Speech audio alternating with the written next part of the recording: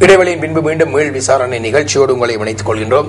இன்று நாங்கள் விவாதத்திற்கு எடுத்துக்கொண்டு வந்திருக்கின்ற இந்த பாத்திரம் சிகண்டி சிகண்டினி என்கின்ற பெண்ணாக பிறந்து சிகண்டியாக பாலின மாற்றம் செய்து கொண்டு ஆணாக தோன்றி பீஷ்மரை அழிப்பதற்கான சபதத்தை இரண்டாவது பிறப்பிலே நிறைவேற்றிக் கொண்ட இந்த சிகண்டி எங்களுடைய வாழ்விலே எந்த பக்கங்களோடு எங்களுடைய குணங்களிலே எந்த குணங்களோடு பெரிதும் ஒத்துப்போகின்றாள் என்பதனை நாங்கள் ஆஹ், ஒரு ஒரு ஒத்துப்பாக்கின்ற ஒப்பிட்டு நோக்குகின்ற ஒரு விடயப்பரப்பில் தான் நகர்ந்து கொண்டிருக்கின்றோம். மாதவி சொல்லுங்க. இப்ப பல விடயங்கள் நாங்கள் எங்களுடைய வாழ்வோடு நீங்கள் பார்த்த விடயங்களை பற்றி சொல்லிக் கொண்டிருந்தீங்க. சொல்லுங்க. சிகண்டி உண்மையிலே ஒரு பெண். ஆண் தன்மை கொண்ட பெண் ஒரு ஆண் ஆண் மூச்சென்று சொல்றாகும் ஆண் தன்மையோடு உள்ள ஒரு பெண். அந்த அந்த பிறப்பை பற்றி நான் இழிவாக கருதவில்லை. அது இயற்கை. இயற்கையில ஒவ்வொருத்தரும் ஒரு மாதிரி பிறக்கிற அந்த வகையில நீங்கள் ஒரு ஆண் தன்மையோடு இருக்கின்ற போது நீங்கள் உண்மையில ஒரு பெண்ணை தான் திருமணம் செய்ய வேண்டும் என்ற இயல்பு உங்களுக்கு இருந்திருக்கலாம். ஆனால் நீங்க திருமணம் செய்த பெண் அப்படியான இயல்போடு இல்லை. அப்ப நீங்க அந்த பிள்ளையை ஏமாற்றி விட்டீர்கள். அவளுடைய உணர்வுகளுக்கு மதிப்பளிக்கவில்லை. அதுதான் என்னுடைய முக்கியமான ஒரு கருத்து. நீங்கள் உங்க பெற்றோருக்காக உங்களுடைய சந்ததிக்காக நீங்கள் யாரோவுக்கு வன்மம் தீர்க்கிறதுக்காக இந்த பெண்ணை நீங்கள். இதற்கு நான் ஒரு கேள்வி கேட்க விரும்புகிறேன். நான் பெண்ணாக அம்பாவாக இருக்கும் பொழுது என்னுடைய காதலனை சேர விடாமல் பீஷ்மர் கவர்ந்து வந்து இவ்வளவு அநியாயம் நடக்கும் போது உங்களோட மீள் விசாரணை எங்க போனது? உங்களோட வார் கிரைம் எல்லாம் எங்க போனது? அப்ப வந்து நான் கஷ்டப்படைக்கு ஒருத்தர் வந்து கேட்கல உன்னை காதலனோட சேரண்டு. அந்த நேரம் நீங்கள் அம்பாவா என்ன கொண்டு நிறுத்தி இருந்தால் நான் சொல்வது நியாயம் என்றிருப்பீங்கள் குற்றம் சொல்லுவ முதல் நாங்கள் முதல்ல எங்களை திருத்திக் கொள்ள வேண்டும். திருத்தினால் சமூகம் தென்ற பாட்டில திருந்தும்னு சொல்வார்கள்.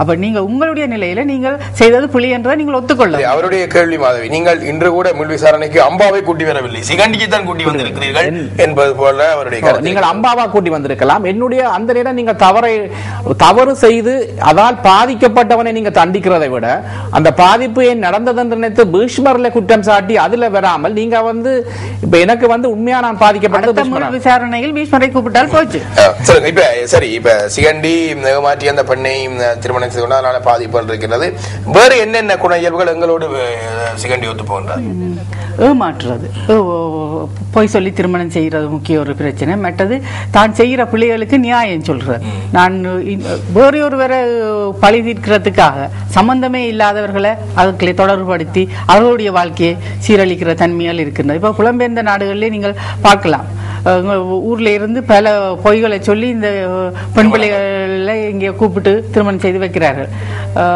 அது மேலே பிடிக்காம பிடிக்காமலும் இருக்கலாம். அதான் வீசா இருக்குதுன்னு சொல்லி அல்லது அந்த வேலை செய்யறாரு இந்த வேலை செய்யறாருன்னு சொல்லி கூட்டிக் கொண்டு வந்தால் அங்கே அவர் மிகச் சாதாரண ஒரு வாழ்க்கையை தான் வாழ்றவர் அவருடைய ஒரு குடும்பத்தை நடத்த முடியாத ஒரு மிக சீரழிவு சாதாரணமாக வாழ்வது தவறு அல்ல. ஆனா மிக சாதாரணமாக வாழ்வதை காட்டிக்கொள்ளாமல் மிகுந்த உயர்ந்த நிலையிலே அதாவது கொப்பளிக்கிறது தண்ணீர். தண்ணீர். என்ற மாதிரி பொய்களை சொல்லி அந்த திருமணங்களை செய்து தாங்களும் பாதிக்கப்பட்டு தங்களை சார்ந்தவர்களையும் பாதிக்கப்பட வைக்கிறது. ஒரு நேர அழைப்பிலே பார்ப்போம். வணக்கம். இனிய இனிய மாலை வணக்கம் திரு சாம் அவர்களே. வணக்கம். யார் பேசுறீங்க? நான் மாயந்தி ஜெர்மனில இருந்து பேசுகிறேன். சொல்லுங்க. ஆமாம் உங்களுடைய நிகழ்ச்சிகளை மிகவும் ஆர்வமாக பார்ப்போம். அதே நேரத்தில் உங்களுடைய நாடகங்களையும் மிக ஆர்வமாக பார்ப்பது உண்டு வாழ்வு கொடுக்கிறேன் வாழ்வு கொடுக்கிறேன் என்று முதியோர்கள் எல்லாம் இலங்கைக்கு சென்று அங்கே வாழ்விழந்த பெண்களுக்கு வாழ்வு கொடுக்கின்ற அந்த நாடகத்தை பார்த்து ரசித்தோம். அதுபோல் சென்ற வாரத்திலே நீங்கள் அந்த எங்களிடமே எங்களுக்குள் களவெடுக்கின்ற அந்த தந்திரத்தை கூட பார்த்து ரசித்தோம். அதே போல் இன்றைக்கு இந்த சிகண்டி என்ற அந்த ஒரு மறைந்து போன புதைந்து கிடக்கின்ற மகாபாரதத்திலே புதைந்து கிடக்கின்ற ஆனால் அந்த பீஷ்மர் என்ற ஒரு அற்புத படைப்பை அழிக்க ஏற்கனவே அந்த வலிமை பெற்ற அந்த பாத்திரத்தை வெளியில் கொண்டு வந்து அந்த பாத்திர படைப்புக்கான குணாதிசயம் எங்களுக்குள் இருக்கிறதா என்று அலசி ஆராய வைத்த அந்த திறமை நீங்கள் ஒரு கிறிஸ்தவராக இருந்த போதிலும் அந்த திறமை உண்மையிலேயே மெச்சப்படுகிறது. அந்த பாகுபாடு இல்லாமல் இதை நாம் பார்க்கின்ற அந்த இந்த இடத்திலே ஐயா அழைப்பில் நிற்கிறீர்களா?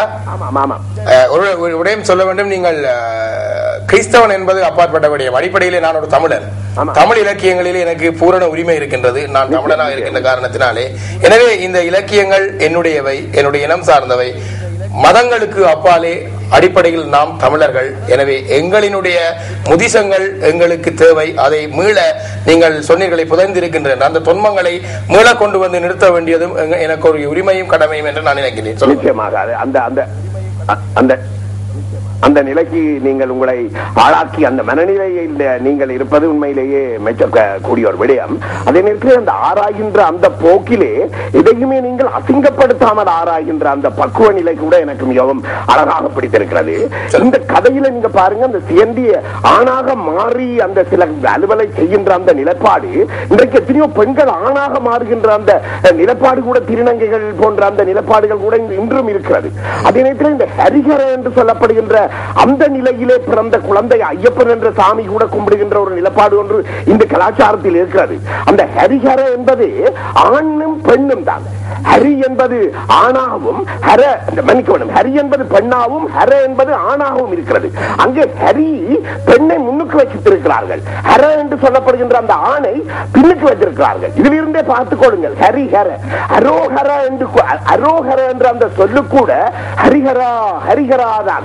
ஆணும் பெண்ணும் ஆணும் பெண்ணும் இந்த உலகத்தில் இருக்கின்ற ஆண்மையும் பெண்மையும் தான். ஆகவே இந்த நிலையில் தோன்றிய அந்த ஹரிஹர என்பது அங்கே மாற்றமாக வேதத்திலும் சொல்லப்பட்டிருக்கிறது. அதே நேரத்தில் ஆணும் ஆணும் புதைந்து கூட பிள்ளைகள் உண்டாகின்ற ஒரு தன்மை ஒன்று இந்த பிரபஞ்சத்திலே இந்த பிறவிகளுக்கு இருக்கிறது என்பதிலும் சொல்லப்படுகிறது. பார்வைக்கு ஆணாக இருப்பார்கள் ஆனால் அவர்களுடைய உறுப்புகள் பெண் உறுப்புகளை உள்ளுறுப்புகளை கொண்டிருக்கும். உறுப்புகள் ஆண்கள ஆண் உறுப்புகளை கொண்டிருந்து நாளடைவில் அது மாற்றமடையும். பிறகு அந்த அவர்கள் பெண்ணை தரிக்கும் போது எல்லோரும் நினைத்துக் கொள்வோம் பெண்ணும் ஆணும் ஆணும் ஆணும் சேர்ந்து பிள்ளை பிறந்திருக்கிறது என்று. ஆனால் அந்த ஆண் பிள்ளை பெறுகின்ற ஆண் பெண் தன்மைகளை கூட கொண்டிருப்பாள். அவை இப்படியான நிலைகள் அங்கே அதை விட்டு விடுவோம். இங்கே நாங்கள் இப்பொழுது எங்களுடைய அந்த யதார்த்த வாழ்வுக்கு வாழ்வுக்குள் வந்தோமானால் அந்த யதார்த்த வாழ்வையில் நீங்கள் சொன்ன அந்த சியந்தி என்ற அந்த பாத்திரம் நிச்சயமாக எல்லா இடமும் இருக்கிறது. தங்களுடைய வாழ்க்கையை அலங்கரித்துக் கொள்வதற்கு ஏமாற்று வித்தையிலே பெண் தேடுவது ஏமாற்று வித்தையிலே பணம் தேடுவது ஏமாற்று வித்தையிலே புகழ் தேடுவது. இவைகள் எல்லாம் இன்றைக்கெல்லாம் கவிஞர்கள் என்று பேசிக் கொள்கிறார்கள் எத்தனையோ பேர். இன்றைக்கு உங்களுடைய அந்த பிடிக்கல பிடிக்கல நீங்கள் கடைசியா எழுதுற அந்த கவிதையை விளங்கிக் கொள் உங்களுக்காக முகஸ்துதி பண்ணுவதற்காக அல்ல. நான் எத்தனையோ தரம் பேசும் போதெல்லாம் அந்த கடைசி கவிதையை பற்றி பேசாமல் என்னால் போக முடியாது. அவ்வளவு தத்ரூபமாக அந்த நாடகத்தினுடைய முழுமையையும் அந்த கவிதைக்குள் கொண்டு வந்து எண்ணினமே சிந்தி என்று ஒரு வரி சொல்வீர்கள் அற்புதமாக இருக்கும். அப்படியாக இந்த சியந்தியையும் கொண்டு வந்திருக்கிறீர்கள். அந்த குணம் நிச்சயமாக நக்கீரன் சொன்னது போல் நக்கீரம் குற்ற நக்கீரன் என்பவன் குற்றத்தை எதிர்த்து பேசுகின்ற அற்புதமான தமிழ் புலவன். அவன் சொன்னது போல் நிச்சயமாக இந்த சேந்தி என்ற அந்த குணாதிசயம் எங்களிடமிருந்து அகல வேண்டும் என்ற அந்த அந்த அந்த எண்ணத்தோடு உங்களிடமிருந்து அன்போடு விடப்படுகிறேன் அற்புதமான நிகழ்ச்சி. எனக்கு மிகவும் பிடித்திருந்தது நீங்கள் மகாபாரதத்துக்குள் புகுந்து அதாவது அந்த பாத்திரங்களை கவனிக்காமல் வாசித்து சென்ற எங்களை எல்லாம் மீண்டும் ஒரு முறை அந்த அத்தியாயத்துக்குள் எடுத்து சென்று அந்த பாத்திர படைப்பு அவர்கள் கையாண்ட அந்த அழகிய அந்த சிந்தன வடிவம் அது நடந்ததா நடக்கவில்லையா என்பது வேறு. அதை மீண்டும் எங்களுக்குள் ஒரு முறை தந்து அந்த அந்த பாத்திரத்துக்குள் அந்த கதைக்குளங்களை மகாபாரத காலத்துக்குளங்களை கொண்டு செல்கிறீர்கள். அதே நேரத்தில் அந்த சகோதரி அற்புதமான அந்த அவர் நக்கீரன் சொன்னது போல் மிக ஆழ்ந்த அறிவு கொண்டவர் அவருக்கும் வாழ்த்து கூறி. அந்த சியந்தியாக வந்த அந்த அற்புதமான நடிகருக்கும் தன- தன்னுடைய பாத்திர படப்பை முழுமையாக விளங்கிக் கொண்டு கேட்ட கேள்விகளுக்கெல்லாம் முழுமையாக பதில் சொன்ன அந்த சியந்தியாக தோன்றியிருப்பவருக்கும் நன்றிகளும் வாழ்த்துக்களும் கூறி அன்புடன் விடைபெறுகிறேன் நன்றி. நன்றி நன்றி. அற்புதமான உணர்ச்சிகரமான ஒரு பேச்சு தான் ஆனால் நான் ஒவ்வொரு தடவையும் கூறுகின்ற ஒரு விடயத்தை தான் இப்பொழுதும் கூற வேண்டும். இதிலே மிக சருக்க சறுக்க அரவாசி இந்த நிகழ்ச்சியுடன் தொடர்புபட்ட கருதுகோளுடன் தொடர்பட்ட விடயமாக இருந்தாலும் மிகுதி அரவாசிகள் வேறு நிகழ்ச்சி தொடர்பாகவும் பாராட்டுதலாம் வாழ்த்தலாம் இருந்தன. நல்லது அவங்களுடைய பாராட்டுகளும் வாழ்த்துதலும் கலைஞர்களை உயர்த்தும் நல்லது. ஆனால் ஒவ்வொரு தடவையும் சொல்லுவேன் இந்த பொன்னான இந்த நேரத்தை நாங்கள் இந்த வாழ்த்துகளுக்கும் பாராட்டுதலுக்கும் வெறுமனே இந்த விடயங்களுக்காக பயன்படுத்திக் கொள்வதை தவித்துக் கொள்வது நல்லது. ஏராளமான நேயர்கள் இன்னும் பல விடயங்களை பேசுவதற்கும் பார்ப்பதற்கும் காத்துக் கொண்டிருப்பார்கள். வாழ்த்துதல்களும் பாராட்டுதல்களுக்குமான நேரங்கள் தரப்படுகின்ற பொழுது அவற்றுக்கான பேச்சுக்களை வைத்துக் கொள்வோம். இதிலே நீங்கள் மிக சரி அரவாசியாக உங்களுடைய கருதுகோளை மட்டும் செய்திருந்தால் அரவாசி நேரத்தை மிச்சம் பிடித்திருக்கலாம் என்ற விடயத்தை தாழ்மையாக தெரிவித்துக் கொண்டு அழகான ஒரு அஹ், கருத்தினை கூறியிருந்தார். அஹ், சிகண்டி எங்களிடமிருந்து அழிய வேண்டும். பீஷ்மருடைய மரணம்தான் எங்களிடம் இருக்கின்ற சிகண்டிகளை அழிக்கும் என்று சொன்னால் நாங்கள் அழிக்க வேண்டிய அந்த பீஷ்மர்கள் யார்? அவர்கள் தர்மவாதிகளாக இருக்கின்றார்களா? இல்லை அதர்மவாதிகளாக இருக்கின்றார்களா? என்பது இன்னும் ஒரு பக்கத்திலே மாதவி நாங்கள் இணைந்துதான் தேட வேண்டிய தேடல் என்று நினைக்கின்றேன். அஹ், இன்னும் ஒரு நேர் அழைப்பினை. வணக்கம். வணக்கம். வணக்கம். அளவில் நேரிலே. மாதவி சொல்லுங்க நீங்கள் ஒரு சில விடயங்களை நம்ம நீங்கள் சொல்ல வழிகிட்ட நீங்கள் சொல்லுங்க சிகண்டி தன்னுடைய நோக்கிலே திடமாக இருந்ததை பற்றி ஒரு பிரச்சனையும் இல்லை. அவர் தனக்கு பாதிக்கப்பட்டதுக்கு. ஆனால் அதோடு சம்பந்தப்படுத்தி அவர் அதோ மற்றவர்களுக்கு நிறைய அநியாயம் செய்திருக்கின்றார். அதாவது உங்களுக்குரிய நீங்கள் உங்களுடைய பாதையில நீங்கள் நேர்மையாக சென்றிருந்தால் அதை நாங்கள் ஏற்றுக்கொண்டிருப்போம். அதனை விடுத்து உங்களுடைய காரியம் நடக்க வேண்டும் என்பதற்காக பலரை நீங்கள் பாதிப்படைய வைத்திருக்கிறீர்கள். இவருடைய அந்த பீஷ்மரை அளிக்கின்ற பாதையிலே பல அப்பாவிகள் பலிக்கடவாக பலிகடாகிறார்கள் பாதையில் நான் நேர்மையாக சென்றிருந்தால் பீஷ்மரை ஒரு காலம் அடித்திருக்க முடியாது. அதாவது என்ன பீஷ்மரை கொல்லும் பொழுது சில நேரம் சில நன்- நீங்கள் ஒரு ஆண் வேஷத்துல போயிருந்தாவது கொலை செய்திருக்கலாம் கட்டாயம் அந்த பெண்ணை திருமணம் செய்ய வேண்டும் என்று இல்லை. இல்ல நீங்கள் பெண்ணை திருமணம் செய்த மட்டும்தான் ஒரே பிரச்சனையா இருக்கிறீர்கள். எனக்கு பீஷ்மரை கொல்வதுதான் என்னுடைய எண்ணமாக இருந்தது. பீஷ்மரை கொல்லும் பொழுது சில நேரம் நாலஞ்சு அப்பாவிகளும் அழிந்திருக்கலாம் சில த- அது தப்புகள் நீங்கள் நடந்திருக்கலாம். சாதாரணமாக சொல்றீர்கள் நாளைந்து அப்பாவிகள் நீங்கள் அறிந்திருக்கலாம் உங்கள் என்று. தாய் நாட்டில் மக்களை கொன்றுவிட்டு எதிரிகளை கொன்று என்று போய் சொல்லுகிறார்கள் நான் வந்து எதிரியை கொல்லும் பொழுது சில நேரம் தப்பு நடந்திருக்கலாம். இது ஓக்ராயம் இல்ல. இது ஓர் குறைம் இல்லை என்றுதான் நான் சொல்ல வருகிறேன்.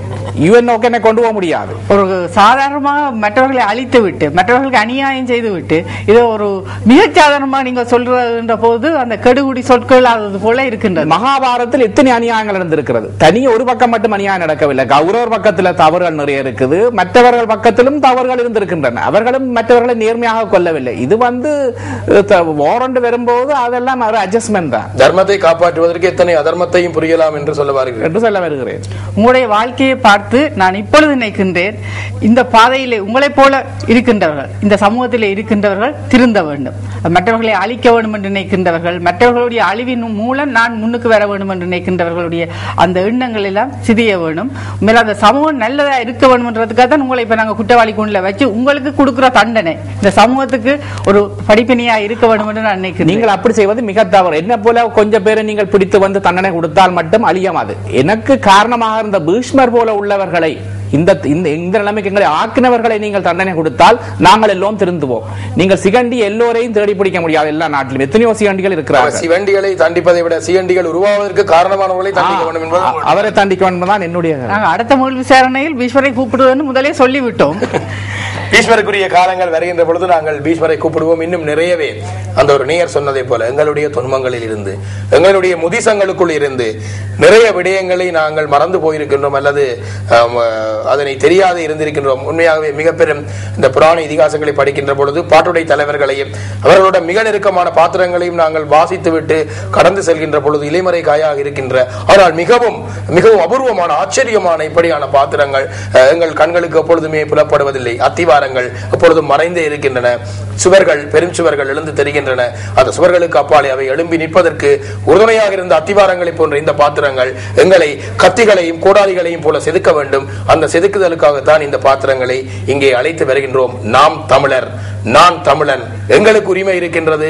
எங்களுடைய தொன்மங்கள் புராணங்கள் இதிகாசங்கள் தமிழ் இலக்கியங்கள் தமிழர் சித்தாந்தங்களில் இருந்து எங்களுடையவைகளை எடுத்துக்கொண்டு வந்து எங்களை சப்பனிடுவதற்கு எங்களுக்கு உரிமை இருக்கின்றது என்ற கருத்தோடு நாங்கள் அஹ், இந்த மீள் விசாரணையத்துடன் நிறைவு செய்து கொள்கின்றோம். மீண்டும் புதியதொரு வாரத்திலே புதியதொரு கதாபாத்திரத்துடன் உங்களை சந்திக்கும் வரை உங்களிடம் விடைபெற்றுக் கொள்ளும் சாம் பிரதீபன். நன்றி நேர்களே. நன்றி.